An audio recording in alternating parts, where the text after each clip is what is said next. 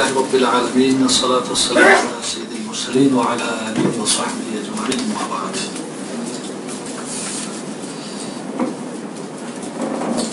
সুফি চর্চার তিক্তগাহ বলবো আমি উপমহাদেশে যদি সুফি চর্চার কেন্দ্রগুলোকে বিবেচনায় আনা হয় দুই থেকে তিনটার ভেতরেই আজকের এই আমাদের পবিত্র সুফি চর্চা কেন্দ্রটি অন্তর্ভুক্ত হবে, তাতে কোনো সন্দেহ নেই। এটা বাংলাদেশের জন্য গর্বের, এটা চট্টগ্রামের জন্য গর্বের, এটা মুসলমানদের জন্য গর্বের, এটা মুমিনদের জন্য গর্বের। আজকের এই সেমিনারের পরম শ্রদ্ধাস্পদ সভাপতি, নায়েবে সজ্জাদুল হোসেন, আজকের এই সেমিনারের সভাপতি সম্মানিত অতিথিবৃন্দ আমার সামনে সম্মানিত সুদীবৃন্দ সালাম আলাইকুম রহমতুল্লাহ আসলে আমি অসুস্থ ছিলাম খুব বেশি যে উমরা থেকে আসছে অল্প কদিন আগে তো পরিবেশের যে একটা দৈত্যের কারণে খুবই অসুস্থ হয়ে গেছিলাম। এজন্য আমি না আসব এটা চিন্তা করছিলাম আবার একটা আমার কবিতা মনে পড়ছে যে আমি আসব। কারণ হাম ইয়ে নেহি কে হেতে হে কে হার দর্দ মিটা দে কুছ দর্দ করি জেসে লাগা নেই কে লিয়ে কবি বলছেন যে আমি এটা বলছি না যে আমার সব ব্যথাই আমার চলে যেতে হবে। তবে আমার এমন কিছু ব্যথা লাগবে যে ব্যথাগুলো আমার হৃদয়ের সাথে গেঁথে থাকে। এই জন্য আমি যাব, আমার, আবার মনস্থ করেছি। তো এখানে আসার জন্য আমাকে সাদিবাই প্রলুব্ধ করেছেন। কিন্তু আমি মেজবান্ডার দরবার শরীফে প্রায় সময় আসি তবে আমি প্রচার বা প্রচারের কোনো ক্ষেত্রে আমি আসি না। সে, আমি একটু নিবৃত্তে থাকতে চাই। এই জন্য আমি গত ফেব্রুয়ারিতেও আমি এসে প্রায় তিন ঘণ্টা এখানে না না রোজা শরীফে ঘুরে জিয়ার শেয়ার করে গেছি। এটা আমার বাপের নির্দেশনা আমার পিতার নির্দেশনা আমি আসি। কিন্তু এভাবে আসব সেটা আমি কখনো কল্পনা করি নেই। তারপরও আজকে আমাকে আসতে হয়েছে সেটা আমি সাইদি ভাইয়ের কাছে। আমি অত্যন্ত কৃতজ্ঞ। আমি প্রথমে যিনি এখানে নাহাতে রসুল সাল্লাহ ইসলাম পাঠের পরে যিনি আমাদের গৌসুল আজমে একটা কবিতা পড়েছেন সেই কবিতার সামান্য দু একটা লাইন আমি উদ্ধৃত না করে পাচ্ছি না। মজহারে আসরারে কুদরত গৌসুল আজম আপ হে আইনাই আনোয়ারে ওয়াহাদাস গৌসুল আজম আপ হে নিশ্চয়ই এটা খুবই মানে যথাযথ একটা কবিতা কারণ এখানে আমরা আমি চলেছি সরাবো কানা, জারেনের সাথে জগৎ দিওয়ানা, রুমি গিলানি, মইনে চিস্তি জুনাইদ শিবলি, হইল মখন এই পথের একটা অভিযাত্রা এই দরবার। অথবা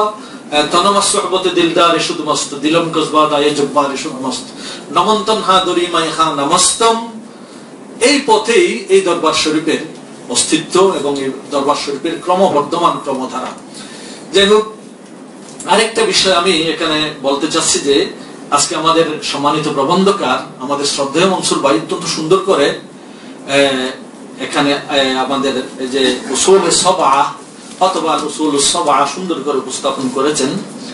তো এখানে আমি আরেকটা জিনিস আমি এটাকে প্রচণ্ড রকমের মিরাকল বলি। আসলে পৃথিবীতে যত আউলিয়ায় রামরা অতিবাহিত হয়েছেন হচ্ছেন বা ভবিষ্যতে হবেন সকলেই কিন্তু আল্লাহ রসুল সাল্লাহ আলী ইসলামের মর্যাদার এক একটা অংশ। তাতে কোনো সন্দেহ নেই। কারণ আল্লাহ রসুল সাল্লাহ আলী ইসলামের জীবদ্দশায় যে মিরাকল তিনি দেখিয়ে ইসলামের বিজয় নিশানকে উদ্দিন করেছেন তার ধারা পরম্পরা কিন্তু প্রলয় দিন পর্যন্ত থাকবে। তার ধারা পরম্পরার অন্যতম হলেন আউলিয়া ইকরামরা, আল্লাহ পাকের মকবুল বন্দারা। যাই হোক তো সেখানে আমি একটা মিরাকল পাই উসুলে উসুলে আসলে বেসিক্যাল ইসলামের আরও অনেক মৌলিক বেশ কিছু বিষয়ের সাথে সম্পৃক্ত। যেমন আমরা, আমাদের ইমানে কিন্তু সপ্ত শাখা আছে। আউলিয়া ইকরামদের ব্যাপারে আরেকটা কথা আছে, যেটা শাহ অলিউল্লাহ মুহাদ্দিস আল-বালিগার ব্যাপারে বলা হয়। যে আউলিয়া ইকরামরা বসে থাকেন পৃথিবীতে, তবে সিদ্ধান্তটা নেন আসমান থেকে। এই দৃষ্টিকোণ থেকে আমার মনে হয় যে উসুলে সবার সাথে কেন আমাদের আরখানে ইমানের সবা সাতটা হওয়ার সাথে নিতান্ত সম্পৃক্ত? তাইলে এর সাথে ওটার সম্পর্ক নিবিড়। আরেকটা বিষয়, উনজিলাল কোরআন আলা সবাতি আহরুফিন। কোরআনও কিন্তু সাতটা নিয়ম পদ্ধতিতে আল্লাহ পাক সুবহানাহু ওয়া তাআলা তার হাবিব, তার মাহবুব সৈয়দুল আম্বিয়ার উপর অবতীর্ণ করেছেন এর সাথেও আমার মনে হচ্ছে আউলিয়া ইকরামরা আসলে আমাদের ইন্দ্রিয় গ্রাহ্য যে সমস্ত বিষয়গুলোকে আমরা দেখি, এর বাইরেও তাদের একটা অবস্থান থাকে। এই দৃষ্টিকোণ থেকে শেখ ফরিদুদ্দিন আক্তার রহমতুল্লাহ আলাই বলেছেন আঁকে আমাদের নো ফলক মেয়েরাজেহু আম্বিয়া ও আউলিয়া এই দৃষ্টিকোণ থেকে তারা আউলিয়া ইকরামদের স্তর কিন্তু তারা আরও নানাভাবে স্তর নিয়ে সেগুলো করেন। তো এটা আমি বলছি। আরেকটা, এরপর আমি একটু সম্মানিত আমাদের যে প্রবন্ধকার অত্যন্ত চমৎকার করে কিছু জিনিস এখানে আমাদের সামনে, বিষয় আমাদের সামনে নিয়ে আসতেন। সেটা আমি বলব যে এখানে তিনি ফানা আনিল হলক এটাতে আমি পড়েছি গত কয়েকদিন থেকে আর আমার ভাই তো আরও বেশি সুন্দর করে আমাদের সামনে উপস্থাপন করেছেন। এখানে দুটো আমাকে গ্রন্থ দেয়া হয়েছে এটা হচ্ছে যেটা বেলায়ত মুতলকার ওই মূল বইটা আরেকটা এই বইটা আমাকে দেয়া হয়েছে যে আসলে এই এই দুইটা বইতে আমি প্রথম যেটা আমাদের এই যে প্রথম যেটা একদম ফার্স্টটা যেটা দেহতত্ত্ব পরদোষ পরিহার নিষ্দোষ জ্ঞান পরমুখাপেক্ষিতা বর্জন যার ফলে খোদা পথচারী সালে হিংসা ও ঈর্ষা মুক্তিতে আত্মশক্তি, সামর্থ্যের প্রতি আস্থাবান শত্রুজিতে সক্ষম হয়, সুফি পরিভাষায় যাকে বলা হয় ফানা আনিল হলক এটা তিনি ফানা আনিল হলকে একটা কথা বলেছেন অমুখাপেক্ষিতা অর্থাৎ আর তওয়াক্কুল আল্লাহ আল্লাহর উপর ভরসা। এটা কিন্তু অত্যন্ত মৌলিক বিষয়। আমি আরেকটা বিষয় আমার বুঝে আসে সেটা, নিশ্চয়ই আমাদের আবুল মনসুর ভাই এখানকার অত্যন্ত প্রবীণ এবং বিজ্ঞ গবেষক, তিনিও বুঝতে পারেন, কিন্তু আমার আরেকটা বিষয় বুঝে আসছে, সেটা তো ঠিকই আছে।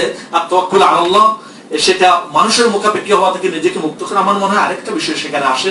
সেটা হচ্ছে, ফানা আনিল হলক থেকে অর্থাৎ পৃথিবীর যত মানুষ আছে, মানুষের দোষ, ত্রুটি ত্রুটি, মানুষের কোন ছেদ, মানুষের কোন একেবারে অপূর্ণতা, সেগুলো থেকে ও নিজেকে মুক্ত করা একটা ইন্ডিকেশন এখানে থাকতে পারে। কারণ আমাদের গৌসুল আসম মাইজবান্ডারি আলাইহ রহমা, তিনি তো এত উচ্চ দর্শনের ছিলেন যে তিনি একটা বিষয়তে তো বহু বহু বিষয়ে তিনি অবতারণা করতে পারেন। এই বিষয়টা আমার মনে হচ্ছে। এই দৃষ্টিকোণ থেকে যদি আমরা দেখি, তাইলে আমরা কোরআন শরীফের সেই আয়াতটাও এখানে নিয়ে আসতে পারি, যেখানে আল্লাহ রাব্বুল আলামিন বলেছেন, ইয়া আইয়ুহাল্লাযীনা আমানু ইজতানিবু কাসীরাম মিনাল যন ইন্না বা'দা যন্নি ইসমুন ওয়া লা তাজাসসাসু ওয়া লা ইয়াগতাব বা'দুকুম বা'দা আইয়ুহিব্বু আহাদুকুম আন ইয়াকুলা লাহমা আখিহি মাইতান ফাকারিতুমু এটাও আমরা নিয়ে আসতে পারি অথবা আরেকটা আয়াত আমরা সেখানে অবতারণা ঘটাতে পারি। এই যে, ওয়ালা তালমিজু আনফুসাকুম ওয়া লা তানাবাযু বিল আলকাব বিসাল ইসমুল ফুসুক বা'দা আলিমান। এই আয়াতটাও আমরা সেখানে নিয়ে আসতে পারি। অথবা আরেকটা আয়াত সেখানে আমরা নিয়ে আসতে পারি যে, ইন তাবদু খায়রান আও তুখফুহু আও তা'ফু আন সুইন গফুরান এই আয়াতটাও আমার মনে হয় সেখানে হুজুরের দর্শনে নিঃসন্দেহে থাকবে। তিনি তো আমাদের চেয়ে হাজার হাজার গুণের বেশি অন্তর্দৃষ্টি সম্পন্ন ছিলেন। এমনকি আমি যে বলছি যে আউলিয়া আমরা পৃথিবীতে বসে থাকেন, সিদ্ধান্ত নেন আসমান থেকে প্রাচ্যে বসে থাকেন, সিদ্ধান্ত নেন প্রতীচ্য থেকে। আপনি তিনি সার্থকার নিচে অবস্থান করেন, তিনি সিদ্ধান্ত নেন আরশম আল্লাহ থেকে। এই ধরনের অবস্থান তাদের হয়। এর ব্যাপারে আমি সেখানে আরেকটা হাদিসের আমরা সংযোজন আমরা করতে পারি যেটা একেবারে আবু দাউদ এবং মুসনাদ আহমদের হাদিস, যেটা ইন্নাকা ইনিত্তাবাআতা আওরাতিন নাস আফসাদতাহুম আও কিত্তা আন তুফসিদাহুম। আমাদের আবুল মনসুর ভাইকে আমি এই একটা এই হাদিসটাও সেখানে আমরা সংযোজন করার জন্য একটু পরামর্শ দেব। যেহেতু ভবিষ্যতে বৃহত্তর কলেবরে এই শব্দ উসুলগুলো আরও ব্যাপক জনগোষ্ঠীর সামনে তিনি উপস্থাপন করবেন, অথবা আমাদের কারও সুযোগ হলে আমাদের আমরা দিনের স্বার্থে আমরা উপস্থাপন করব। এরপরে আরও একটা বিষয় আছে যে মানুষ থেকে ফানা আনিল হলক মানে এটাও হতে পারে যে মানে মানুষ যে সমস্ত বিষয়ে কষ্ট পায়, অথবা নিজেকে যে সমস্ত বিষয়ের অবতারণা ঘটলে ছোট মনে হয়, সমস্ত বিষয় থেকে নিজেকে নিবৃত রাখা সেটাও আসতে পারে সেই বিষয়টাও আমরা। এরপরে এখানে আরেকটা নিজ দেন সেটার ব্যাপারে আমি দুটো, একজন হজরত জুনাইদ আল মুহতাদি আলাইহ রহমান তার কথা আমি বলব। তিনি ভিলদান ওলি ছিলেন কিন্তু ভাই ভাই বরং বল এর আগে আমি আরেকটা কথা বলতে পারি, হাসিবু কবলা আন্তু হাসাবু, যেটা হজরত উমর রাদিয়াল্লাহু তাআলা বলছেন, নিজের, আগে নিজের দুষ্ত্রুটিগুলো দেখার কথাও আমাদের গৌসুল আজম আলাইহ রহমা কদ্দাসাল্লাহু সিরাহু এখানে আমাদেরকে ইঙ্গিত করতে পারেন। কারণ জুনাইদ মুহতাদি আলাইহ রহমান একটা কথা বলেছেন, ইন রা আইবা নফসিহি ফাতাবা। কোন মানুষ যদি নিজের দোষ ত্রুটি নিজে অবলোকন করতে পারে, তার তৌবার মানসিকতা আসে। ওয়াইন হাসাবাহু যদি মানুষ নিজের পাপ পুণ্যের হিসাব করে অথবা নিজের অপরাধের হিসাব করতে পারে, তাইলে বকা, তখন মানুষ অশ্রু বিসর্জন দিতে পারে। ওয়াইন বকা, মানুষ যদি আল্লাহ দরবারে কাঁদতে পারে গফিরা তাহলে নিঃসন্দেহে আল্লাহ থেকে তিনি ক্ষমাপ্রাপ্ত হতে পারেন। ওয়াইন গফিরা মানুষ যদি ক্ষমাপ্রাপ্ত হন যদি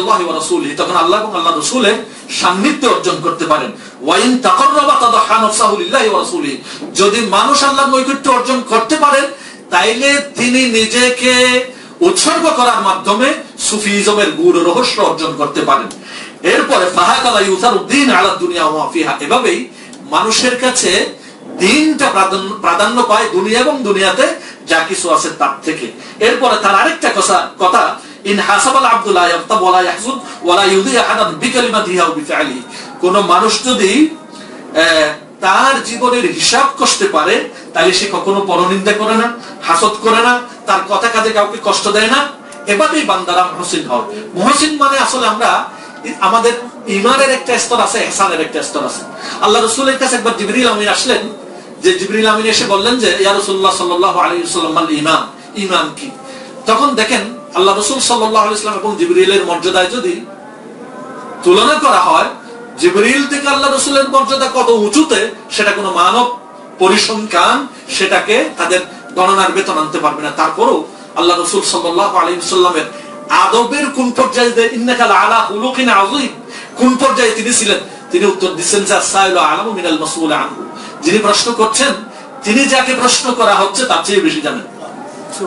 এরপরে জিবরিল বললেন যে, আমরা যে সাত বিষয় যেখানে উসুল সবার কথা এখানে বলা হচ্ছে, সাত ইমানের কথা তিনি বললেন। বলার পরে জিবরিল আবার আল্লাহ রাসূলকে প্রশ্ন করছেন, ওয়ামাল ইহসান? ইহসানটা কি?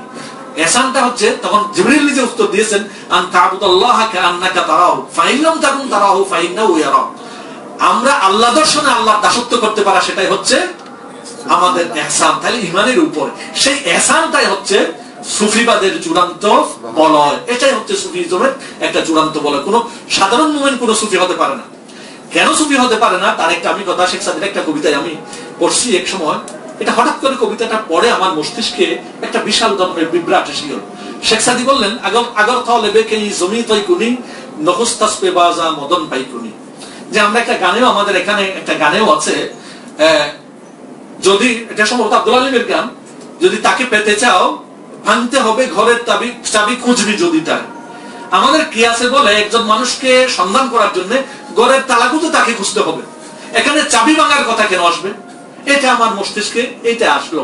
আসলে সেটা আসার পর শেখ সাদির ওই কবিতাটা তখন আমার মনে পড়ল, তখন আমার মোটামুটি সমাধানের একটা পর্যায়ে বসলাম অর্থাৎ সুফিজমের এটা এমন একটা পথ, যেই পথে শেখ সাদি বলছেন, আগর তাহলে বেকে ই জমি তৈ কুনি নখস্তাস পে বাজা মদন পাই কুনি এই সুফিজমের পথে কেউ যদি একটা পদক্ষেপ রাখেন, তাকে তার ফিরে আসার অশ্বের ঘোড়া, অশ্বের পা কেটে দিতে হবে, ঘোড়া পা কেটে দিতে হবে। তার মানে সুফিজম এটা এমন একটা পথ, যেই পথে আপনি আপনার অভিযাত্রা যাত্রা শুরু হবে, কিন্তু সেই যাত্রার কোনো অন্ত নেই। একইভাবে একসান আন তা'বুদাল্লাহ কাআন্নাকা তারাহু, কোন মানুষ যদি, কোন মানুষ যদি আল্লাহ সুবহানাহু ওয়া দর্শন, আল্লাহ দর্শন পেয়ে তার দাসত্ব করতে পারে, নিঃসন্দেহে তিনি আর সেই পথ থেকে প্রত্যাবর্তন করার সুযোগ আর পাবে না। এটাই হচ্ছে আমার মনে হয় প্রথম জিনিস সেটাতে এটাই এরপর এখানে আরেকটা পাঠ আমাদের এখানে যে আসছে, সেটা হচ্ছে পরমুখাপেক্ষিতা পর্যন্ত তিনি চমৎকার করে সেটা ইয়ে দিয়েছেন, আমাদের সামনে তুলে ধরেছেন। আমি মনে করছি সেটাও আমরা পাবো না। তার মতো করে আমরা পারব না। এর সাথে সুন্দর ব্যাখ্যা। মনসুর ভাই, আপনাকে ধন্যবাদ। আপনার শুক্রিয়া জ্ঞাপন করছি, এর সাথে সুন্দর ব্যাখ্যা আর হবে না। তবে আমি একটা হাদিসের কথা আপনাদের সামনে বলছি। যেটা আল্লাহ রসুল সাল্লাহ আলাইসলাম হজরত আব্দুল্লাহ ইবনে আব্বাসকে সম্বোধন করে বলছিলেন, এটা তিরমিজি এবং মুসনদ আহমদের হাদিস, যেখানে একবার আল্লাহ রসুলের পশ্চাতে হজরত আব্দুল্লাহ ইবনে আব্বাস, তিনি বসা ছিলেন, উপবিষ্ট ছিলেন। হঠাৎ করে আল্লাহ রসুল ইসলাম তার দিকে ফিরলেন। ফেরার পরে বলা হচ্ছে, আল্লাহ রসুল তার নোরানি জুবানে বলছেন যে কি? ইয়া গোলাম। আরবিতে আবার গোলাম শব্দটা আমাদের বাংলাদেশের মতো দাস হিসেবে সহজে তারা ব্যবহার করে না। এখানে তারা গোলাম শব্দ ব্যবহার, যেমন ইসুল ইসলামের ক্ষেত্রে সোরা ইউসুফিয়া গোলাম বলে। অর্থাৎ খুবই সুন্দর, অত্যন্ত সুন্দর, ষোলো থেকে একেবারে মানে কিশোর বয়সের এই যুবকগুলোকে, এই এই বয়সের ছেলে গুলোকে গোলাম বলা হয় আরবিতে। তো হযরত আব্দুল্লাহ ইবনে আব্বাস কেউ তিনি বলছেন, ইয়া গোলাম মানে হে আমার পেছনে ভূমিষ্ঠ, সুন্দর যুবক। এমনি ওয়াল্লিমুকা কালিমাতিন, তোমাকে আমি কিছু বিষয়ে, কিছু কয়েকটা বাক্যের একটা পাঠ দেব। সেই বাক্যগুলো যদি তুমি সযত্নে ধারণ করো, আল্লাহ তাআলা তোমাকে ধারণ করে রাখবেন। আমার এই কথাগুলো তুমি যদি যত্ন সহকারে আত্মস্থ করো, সেগুলোর উপর যদি তুমি আমল করো তাহলে তুমি তোমার সহকারী হিসেবে পাবে, তোমার সহযোগী হিসেবে পাবে আল্লাহ সুবহানাহু অর্থাৎ এখানে সহকারী সহযোগী মানে অর্থাৎ এই কর্মে তোমাকে সফলতা দানের জন্য আল্লাহ তোমাকে অ্যাসিস্ট করবে। এই কথাটাই বলা হচ্ছে। তারপরে বলছেন কি ইদা সাআলতা ফাসআলিল্লাহ ওয়া ইদা ইসতাআনতা ফাসতাইন বিল্লাহ واعلم ان الامه لو اجتمعت على ان ينفعوك بشيء لم ينفعوك الا بشيء قد كتبه الله لك ولو اجتمعوا على ان يضروك بشيء لم يضروك الا بشيء قد كتبه الله عليك رفعت الاقلام وجفت الصحف অর্থাৎ বলা হচ্ছে যে পৃথিবীর কোন মানুষের মুখাপেক্ষী তুমি হবে না তোমাকে যদি মুখাপেক্ষী হতে হয় আল্লাহ সুবহানাহু ওয়া তাআলার কাছে হবে এখানে এখানে একটা বিষয়ের শিক্ষা সেটা হচ্ছে আমাদের গৌসুল আজম তিনি যেই কথাটা বলছেন, সেটা হচ্ছে মানুষের মুখাপেক্ষিতা থেকে ফিরে এসে আল্লাহ মুখাপেক্ষিতাই মানুষের জন্য মুখ্য। কেন? পৃথিবীতে যা আম্বিয়া একরাম এবং আউলিয়া একরামরা আছেন, তাদের অন্যতম সেরা মিশন হচ্ছে তারা তাদের তাদের আমল, তাদের ফয়ুজ, তাদের বরকার দিয়ে মানুষগুলোকে অন্যমুখিতা থেকে আল্লাহমুখিতা করবেন, সেটাই হচ্ছে তাদের সেরা মিশন এজন্য আমার মনে হয় আমাদের এই কথাটা বলেছেন। এরপরে দ্বিতীয়ত, ফানা আনিল হাওয়া যে কথাটা বলছে, এখানে দ্বিতীয় পর্যায়ে যেটা ফানা আনিল হাওয়া, এটা এত উচ্চাঙ্গের যে, যেটা আমাদের মতো সাধারণ মানুষ বোঝা কিন্তু খুবই সুকঠিন।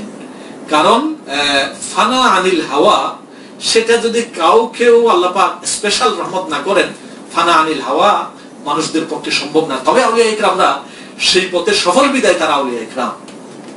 তারা সেই পথে পূর্ণ সফল বিদায় তারা আউলিয়া ইকরাম। আমি হুজুরের জীবনী নানা মাত্রিক কথা থেকে আমি পড়েছি, এমনকি অনেক সমালোচকের দৃষ্টিকোণ থেকেও পড়েছি। সমালোচকরাও তার জীবনের আদ্যপান্ত ঘেটে ঘেটে দূরবীন দিয়ে দেখেছেন কিন্তু কোনখানে বিন্দু বিসর্গ কোঁত বের করতে পারেন নাই এটা তাদেরকেও ধন্যবাদ। যারা সমালোচনা করতে গিয়ে তার ভেতরে তারা অস্ত গিয়েছেন। এজন্য তাদেরকেও ধন্যবাদ আমি বেশ কিছু দৃষ্টিকোণ থেকে পড়েছি।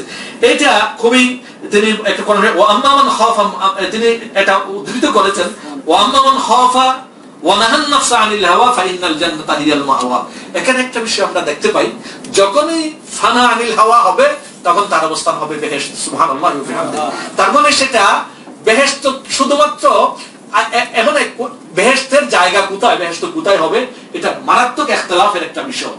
ব্যাপক। কিন্তু এখানে আমাদেরকে দুটো জিনিস খেয়াল করতে হবে। আউলিয়া ইকরামরা কিন্তু পৃথিবীকে বাদ দিয়ে পরকাল অর্জন কেউ করেন নাই। কারণ আল্লাহ সুবহানাহু ওয়া তাআলা বলেছেন, পৃথিবী তোমরা ধরো, ওয়ালা তানসা নসিবাকা মিনাদ দুনিয়া। হে পৃথিবীর সমস্ত মানুষ, আমি তোমাদের জন্য পৃথিবীতে তোমাদের একটা অংশ রেখেছি। সেটা কখনো ভুলতে বসো না। প্রফেসর আব্দুল রাজাক তিনি যদ্যপি আমার গুরুর শেষ দিকে একটা কথা বলেছেন, ইসলাম যে আসলেই মানবতার ধর্ম এবং বাস্তব ধর্ম সেটা আমরা বুঝি কোথায়? যে রব্বানা আতিনা দুনিয়া হাসানা ওয়া ফিল আখিরাতি হাসানা ওয়া কিনা আযাবান নার। এখানে প্রফেসর রাজাক উদ্ধৃত করেছেন যে আগে কল্যাণ আমাকে দাও পৃথিবীতে। অর্থাৎ পৃথিবীকে ইগনোর করে পরকাল কখনো হতে পারে না। এজন্য আপনি যদি পরকালের বেহেস্ত পেতে চান, অথবা দুনিয়াটাকেও বেহেস্ত বানাতে চান পরে এই কোরআনে পাকের আয়াতে ফাইনাল জান্নাত মাওয়া, আপনার হবে অর্থাৎ আপনি যদি প্রবৃত্তিকে সামলাতে পারেন, এই বলগাবিহীন প্রবৃত্তির লাগাম যদি আপনি ধরে রাখতে পারেন, তাহলে এই পৃথিবীটাও আপনার জন্য স্বর্গে পরিণত হবে। এজন্য আমরা অবদানিক দৃষ্টিকোণ থেকে হজুর গৌসে পাকের কাছে আমরা চিরঋণী। এই কথা সাধারণ কোনো মানুষের মুখ দিয়ে কিন্তু আসে না। এটা অসাধারণ না হলে এই সমস্ত কথাগুলো এত গভীরে গিয়ে একেবারে গভীর থেকে গভীরে গিয়ে অনুধাবন করা কারও পক্ষে সম্ভব না। এজন্য তিনি উদ্ধৃত ওয়ালা তুতিমা মাগফালনা ফালবাহু আন যিকরিনা ওয়াত্তাবা হাওয়াহু ওয়া কানা আমরুহু ফুরুতা। আল্লাহ সুবহানাহু ওয়া তাআলা ইরশাদ করেছেন। আমার সময় ফুরিয়ে গেল। ওয়ালা তুতিমা মাগফালনা ফালবাহু আন যিকরিনা। দেখেন আল্লাহ পাক বলছেন যে তাদের আনুগত্য করো না যারা যাদের অন্তর আমার স্মরণ থেকে বিস্মৃত। যাদের অন্তর আমার স্মরণ বিমুখ, যাদের অন্তরে আমার স্মরণ চির জাগরুক নয়, তোমরা তাদের অনুসরণ করো না। হাওয়া এবং আর যারা প্রবৃত্তিকে অনুসরণ করে, তাদেরকে অনুসরণ করা যাবে না। এটা আল্লাহ সুবহানাহু ওয়া তাআলা এরপর সূরা আনামের একটা আয়াত আছে, ইন্না কাসীরান লা ইউদিল্লুনা বিআহওয়াহিম বিগাইরি ইলম। অনেক মানুষ আছে, তারা পথভ্রান্ত কেন? তারা প্রবৃত্তির অনুসরণ করে। তারা প্রবৃত্তির অনুসরণ সুতরাং হুজুরের এই যে দ্বিতীয় দ্বারা ফানা আনিল হাওয়া সেটা আমাদের জন্য অত্যন্ত গুরুত্বপূর্ণ। আল্লাহ রসুলের অনেক হাদিস আছে একটা গুরুত্বপূর্ণ হাদিস যেটা যে- নামাজ।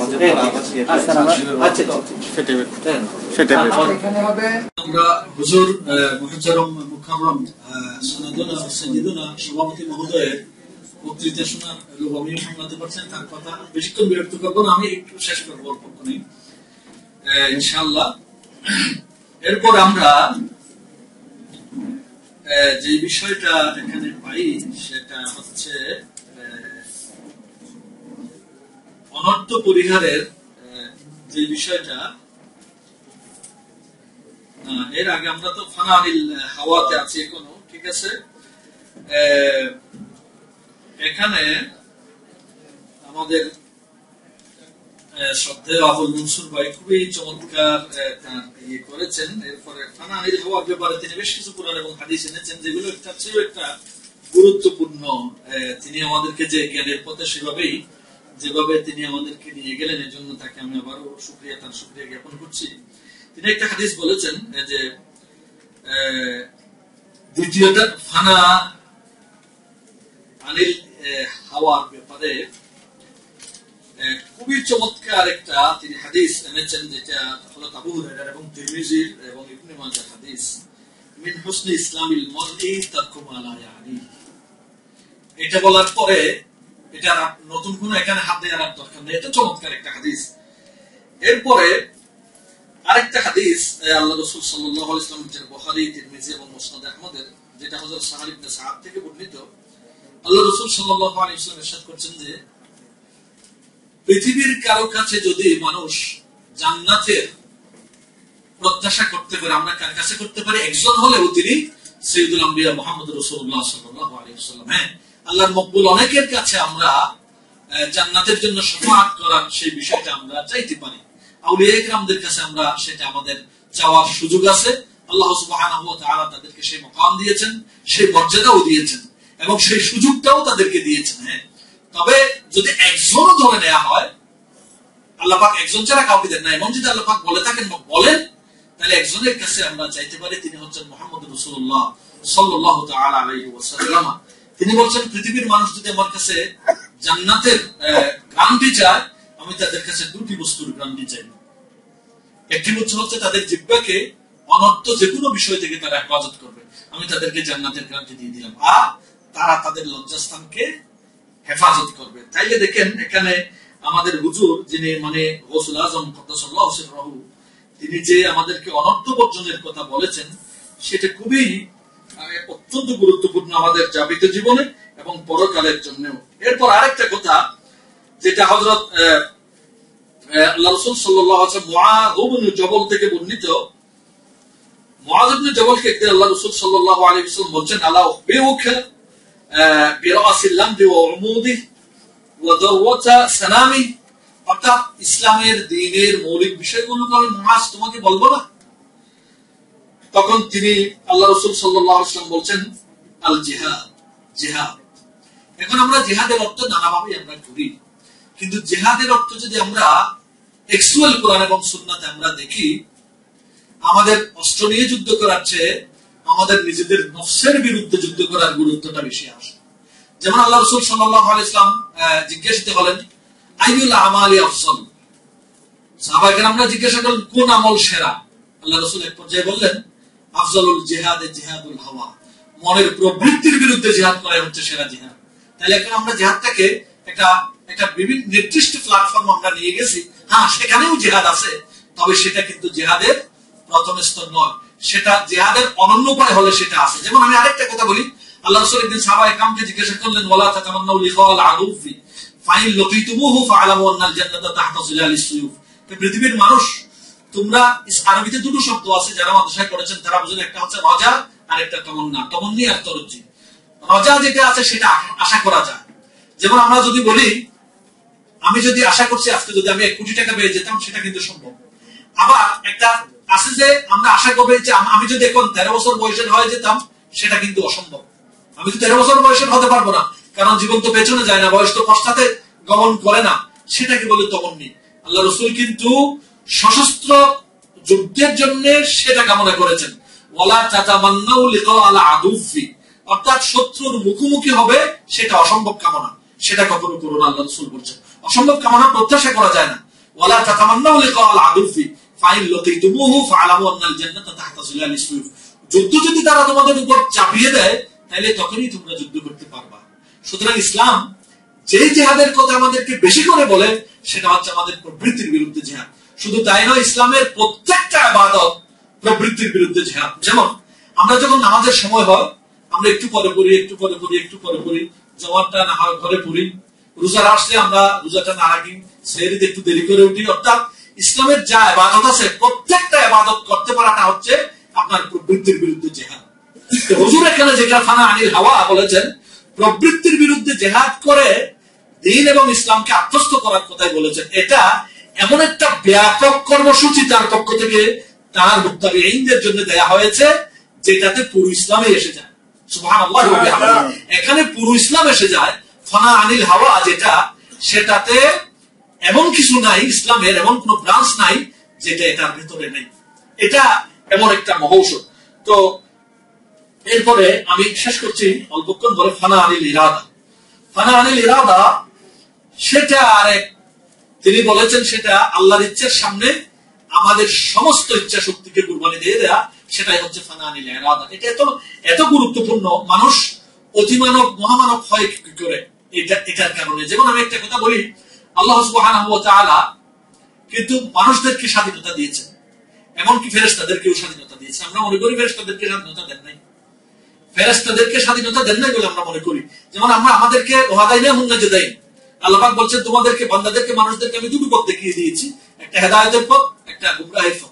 ফারিকুন ফিল জান্নাহ ওয়া ফারিকুন ফিস একদল জান্নাতে যাবে আর একদল জাহান্নামে যাবে। আমাদেরকে স্বাধীনতা দিয়েছে। যেমন আমরা নামাজ পড়তে পারি, নাও পড়তে পারি।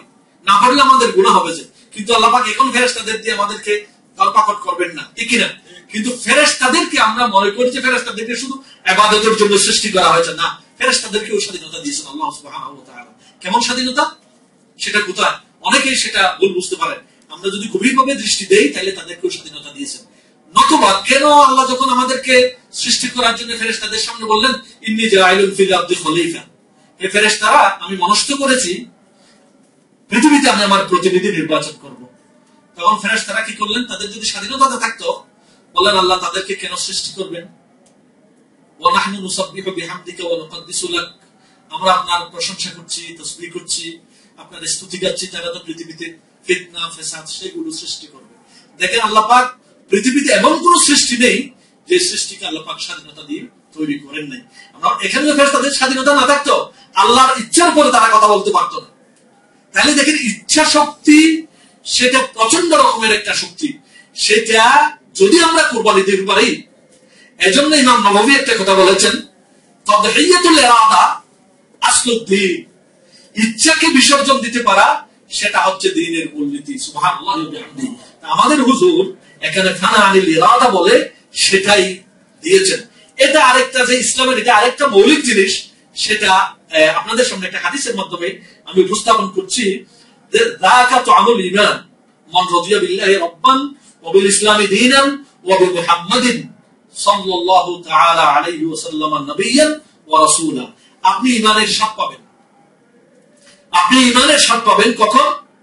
যদি আল্লাহ সুবহানাহু ওয়া তাআলাকে আপনার ইচ্ছার ঊর্ধ্বে উঠে আল্লাহকে রব হিসেবে মানতে পারেন। আর ইসলামকে আপনার সার্বিক জীবন ব্যবস্থা হিসেবে মানতে পারেন। এবং মোহাম্মদ রসুল্লাহ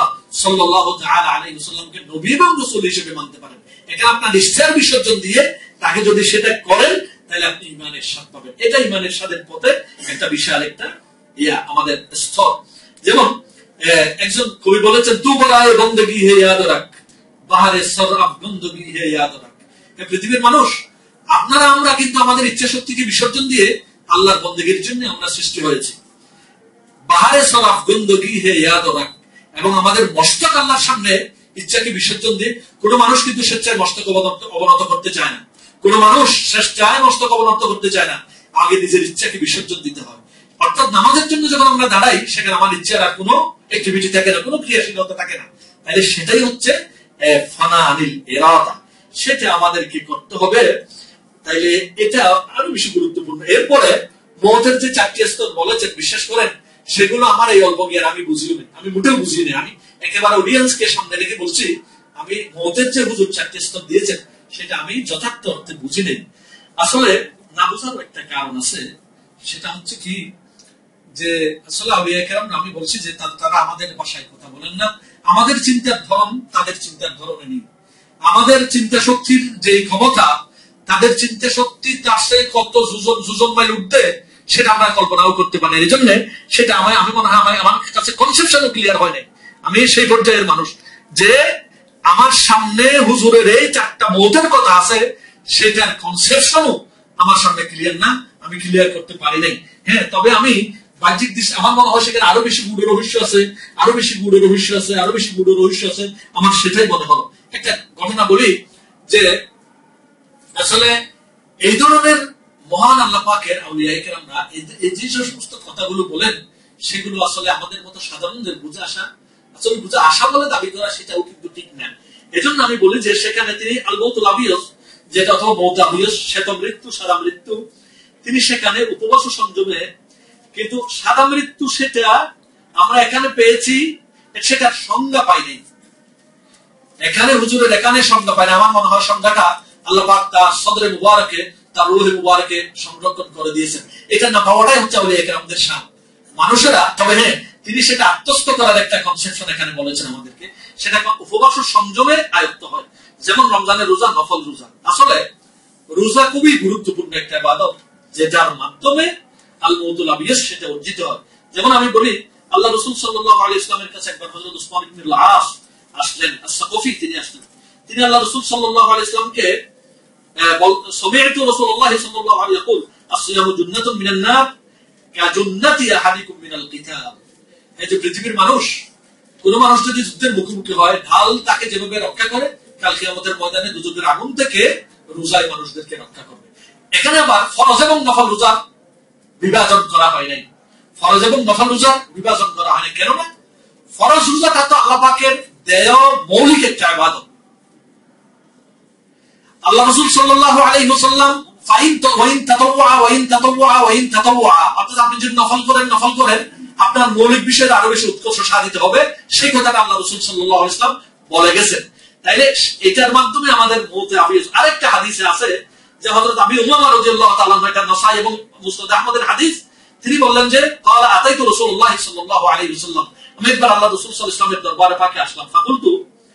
আমি আল্লাহ রসুল সাল্লামকে এলতেজা করলাম, আবেদন করলাম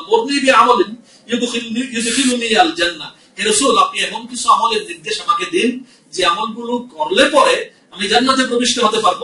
তখন আল্লাহ বললেন, কি? তুমি রোজা রাখো। তুমি রোজা রাখো। এই রোজার কোনো বিকল্প নাই। এই রোজার কোনো কি নাই? বিকল্প নাই। তিনি আগে একটা হাদিসের এটা অনেকে হাদিস বলেছেন, মৌতু কবলা আন তামুত। মৌতু কবলা আন তামুতু, যে মানুষ যদি যদি তাদের জীবনের সফলতা চায় বা আল্লাহ সন্তুষ্টি চায় রসুল আকরম সাল্লাহ আলী হুসালামের সন্তুষ্টি চায়, তাহলে তাদেরকে এই নীতিটা অনুসরণ করতে হবে।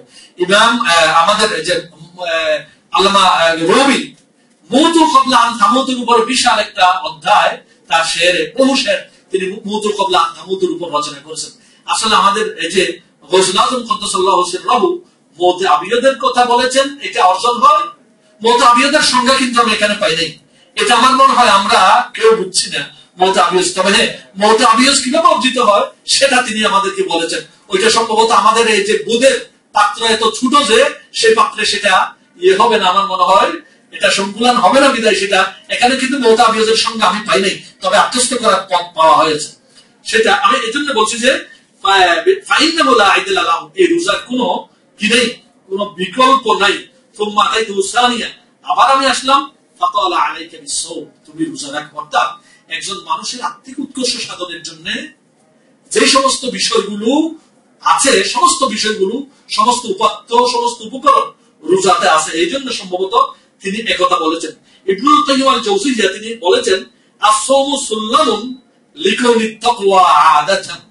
রোজা হচ্ছে এমন একটা ইবাদত, এমন একটা মাধ্যম যেটা তাকওয়াকে, আল্লাহ বিধিকে আপনার অভ্যস্ত করতে, অভ্যাসে পরিণত হওয়ার জন্য সেটা একটা সিঁড়ি। তাকওয়া আল্লাহর ভীতিটা অন্তরে আনার সিঁড়ি হচ্ছে তো আমাদের আজকে প্রথম যেটা এখানে আল মৌতুল এটা আমার মনে হয় এটা এরপরে আল মৌতুল এটা কিন্তু খুবই চমৎকার একটা জিনিস। তিনি বলছেন ইফসালু বিআদাওয়াতিল আদা ওয়া বিগীবাতিল হুসাদ সেটা আমি আরবিতে এসে যায় যে শত্রুদের শত্রুতা এবং হিংসা আপনাকে করলে পরে সেটা আপনার অর্জিত এটা কিন্তু দুভাবে এটা বিশ্লেষণ করা যায়। একটা আমি হযরত হাসান আল বসরি আলাইহির রহমান একটা উক্তি দিয়ে করি, ইনি কথা বা হাদায়া কোন মানুষ যদি হযরত হাসান বসরের দুষ্কৃতির দলে গিবত করতেন। তিনি তার জন্য বিশাল ফলের বিশাল একটা খাঁচা তার জন্য পাঠিয়ে দিতেন আলাইহি যদি কেউ যদি তার সমালোচনা করে সেটা যদি তিনি জানেন তার জন্য বিশাল টাকা পয়সা কাটাতেন যেহেতু নিজে ছিলেন খুব টাকা পয়সা পাঠিয়ে দিতেন। আসলে আমার মনে হয় এটা কিন্তু খুবই গুরুত্বপূর্ণ একটা ইবাদত। আমাদের আহ, গৌসুল আজম আল বাইসপন্দারি আলাইহির রহমা তিনি আমার মনে হয় সম্ভবত এই দৃষ্টিকোণ থেকে বলেছেন। এখানে দুটো দৃষ্টিকোণ আছে। একটা হচ্ছে, কেউ যদি আপনার সমালোচনা করে, আপনার সাথে শত্রুতা করে, আপনার গিবত করে এক তো আপনি সংশোধন হবেন। এক তো আপনি সংশোধন হবেন। আরেকটা ইমাম হানিফা রহমতুল্লাহ বলছেন যে, কেউ যদি কারও সমালোচনা করে, তিনি যেন, করতে ইচ্ছে জাগে, তিনি যেন তার মাতা পিতার সমালোচনা করেন কারণ সমালোচনার মাধ্যমে যা সমালোচনা করা হচ্ছে, তিনি পাপমুক্ত হচ্ছেন। তিনি পাপমুক্ত হচ্ছেন। আমার মনে হয় গৌসুল আজম আলাইহির রহমান আমাদেরকে পাপমুক্ত করার জন্য এইটা তার রসুল সব ভিতরে অন্তর্ভুক্ত করেছেন। আল্লাহ তাকে জান্নাতের সম্রাট বানিয়ে দিন। আমিন। এরপর আরেকটা কথা ইমাম হাইসবি একটা কথা বলেছেন যেটা আমার আবুল মনসুর ভাই সুন্দর করে তিনি উপস্থাপন করেছেন। আমি হাইসমির কথাটা আনলাম শুধু এই জন্য বলছি নতুবা আমার সেটা বলার দরকার নেই। আল গীবাত তাহাদিকে ইলা তামকিল মুনকারাত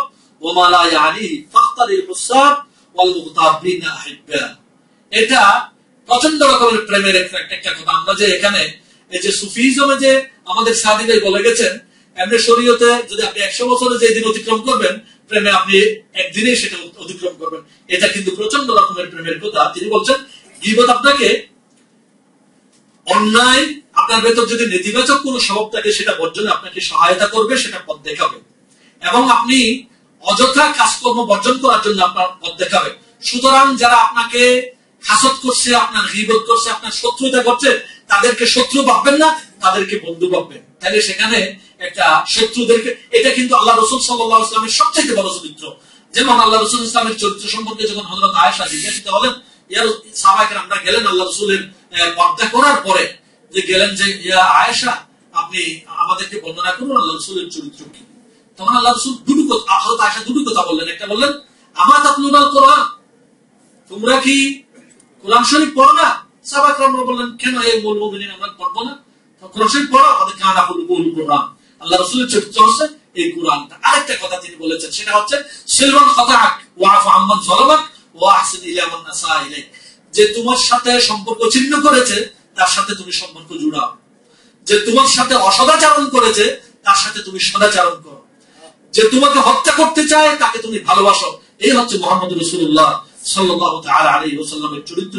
আমার মনে হয় আমরা আল মৌতুল আহমর এটা কাম্বাবুল আলসা মুক্তিতে হাসিল হয়। যেমন আমরা যদি একটা বিষয় আম্বিয়া ইকরামদের অধিকাংশ আম্বিয়া ইকরামরা কিন্তু তাদের সাংসারিক জীবনযাপন কিন্তু তাদের ভেতরে মানে কামবাবের কোন প্রভাব ছিল না।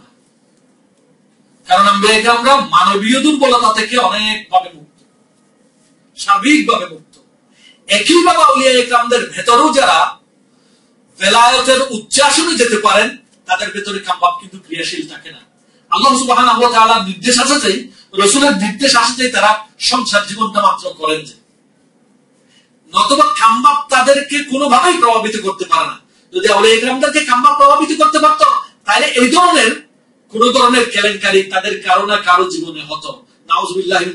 পৃথিবীর কোন আউলিয়া ইকরামের চরিত্রে ধরনের কোন খুঁত ধরনের কোন ঘাটতি ধরনের কোন গ্যাপের অস্তিত্ব নাই। কারণ কি?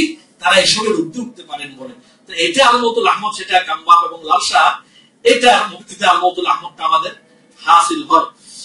এটা আসলে কোরআনে পাকের প্রচণ্ড রকমের একটা অনুশীলন, কারণ কোরআনে পাকে মেলা আয়াত আছে কুলিন্নামা হারামা রব্বিল ফাওয়াহিশা মা যাহারা মিনহা ওয়া মা বাতান। আবার ওয়ালা তাকরাবু জিনা ইন্নাহু কানা ফাহিশাতান ওয়া সাআ সাবিলা। এরপর ইন্নাল্লাযিনা ইউহিব্বুনা আন তাশিআ আল ফাহিশাতু বিল লাযিনা আমানু লাহুম আযাবুন আলীম ফিদ দুনিয়া ওয়াল আখিরাহ ওয়াল্লাহু ইয়ালামু ওয়া আনতুম লা তা'লামুন। এটা কোরআনে পাকের অসংখ্য আয়াতের প্র্যাকটিসের একটা ধারা। আল্লাহ সুবহানাহু ওয়া তাআলা এই আমরা যেন আত্মস্থ করতে পারি, সেই তৌফিক আমাদেরকে দান করুন। সবাই বলে আমি এরপরে আল মৌতুল আহাদর। এটা আসলে আল আহাদর শব্দটা কিন্তু হাদিসে পাকে এত লব্ধ করে এসেছে যে যেটা আমার মনে হয় এটা যেহেতু সপ্তম, আমার মনে হয় আমাদের হুজুরের দৃষ্টিভঙ্গির সেই উৎস, সেই হাদিস নবী সাল্লাল্লাহু তাআলা আলাইহি ওয়াসাল্লাম থেকে। এটা আমরা অবাক হয় যে কোরআনে পাকেও আমরা অনেক ভাবে সেটার উপর অনেক আয়াত আছে। এটা আল মৌতুল আহাদরের এই প্রাসঙ্গিক। কিন্তু আমরা সেটা বের করে আনতে পারি না। যেমন আমি বলি, ইন্নামাল হায়াত, ইন্নামাল হায়াতুদ দুনিয়া লাইবুন ওয়া লাহবুন ওয়া ইন তুমিনু ওয়া তাত্তাকু ইউতিকুম উজুরাকুম ওয়া লা ইয়াসআলুকুম আমওয়ালুকুম। এটা, এটাও কিন্তু এই প্রাসঙ্গিক হাদিস। কোরআনের এরপর ওয়ালামু আন্নামাল হায়াতুদ দুনিয়া লাইবুন ওয়া লাহবুন ওয়া জিনাতুন ওয়া তাফাখুরুম বাইনাকুম ওয়া তাকাতুরুম ওয়া তাকাতুরুম ফিল আমওয়ালি। কামা থালি গাইসিন, এই আয়াতটাও কিন্তু এই যে আল মৌতুল আহাদর প্রসঙ্গে। এরপর আরেকটা আয়াত আমি পেয়েছি, সূরা ইউনূসের 24 নম্বর আয়াত। এটাও কিন্তু এই মৌতুল আহাদর প্রাসঙ্গিক কোরআনে পাকের একটা আয়াত। এটা অর্থ ইয়ে করে আরেকটা যে হাদর শব্দটা, এই আল মৌতুল আহাদর এই শব্দটা একটা হাদিসে আছে যে হাদিসটা মুসলিম, তিরমিজি, ইবনে মাজাহ, মুসনাদ আহমদ সবখানে আছে, যেটা হযরত আবু সাঈদ আল খুদরি রাদিয়াল্লাহু তাআলা থেকে বর্ণিত। তিনি বলছেন যে, ইন্না দুনিয়া হুলওয়াতুন খাদিরাতুন একদম হুজুরের এই যে আল মৌতুল আহাদরের এই শব্দটা, একেবারে শব্দটাও আল্লাহ রাসূলের হাদিস থেকে নির্বিলাস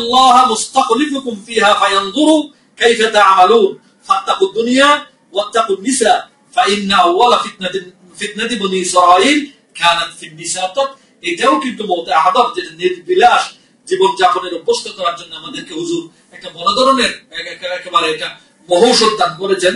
এটাও যেন আমরা আত্মস্থ করতে পারি। আল্লাহর কাছে সেই তৌফিক আমরা কামনা করছি। এটার উপরও বেশ কিছু হাদিস আমি এখানে ইয়ে করছি। তবে দীর্ঘ আর বলব না, তবে একটা আমি পরামর্শ দেব যে, আসলে এই ধরনের সেমিনারগুলো, এই ধরনের দরবার থেকে আরও বেশি হওয়া আমরা প্রত্যাশা করি। কারণ কেন? আসলে ইসলাম আমার ইসলাম এমন ইসলামের জ্ঞান এমন একটা বিষয়, যেটার মর্যাদা কিন্তু ইমানেরও আগে।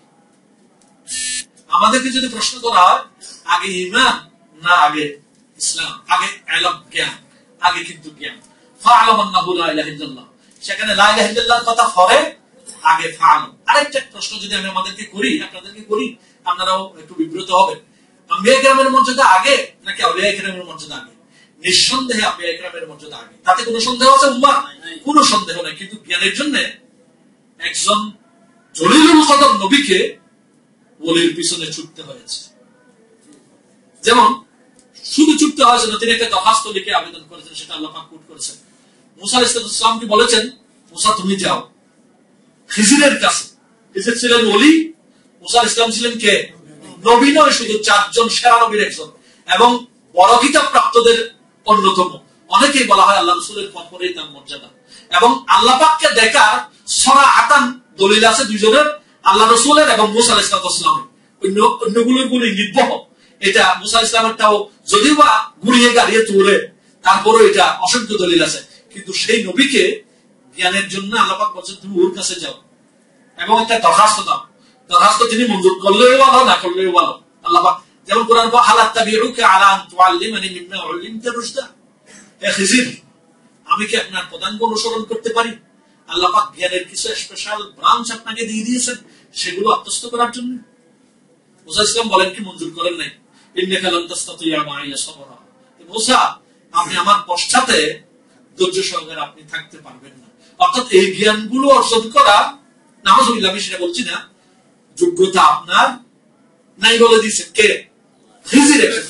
শুধুমাত্র এলমের জন্য একজন নবীকে বলির পেছনে ঘুরঘুর করতে হয়েছে।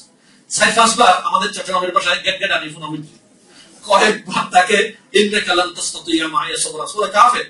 বেশ কয়েকবার আল্লাহ সুবহানাহু জ্ঞানের বিষয়টা এমনই ইসলাম। সুতরাং এই ধরনের সুফিজমের জ্ঞান যদি আমাদের কাছে আপনারা দেয়া সেই সুযোগটা করে দেন, আমি সুফিজম তিফলে বক্তব্য একেবারে, তিফলে বক্তব্য, একেবারে বক্তব্যের ছাত্র আরও কম হব।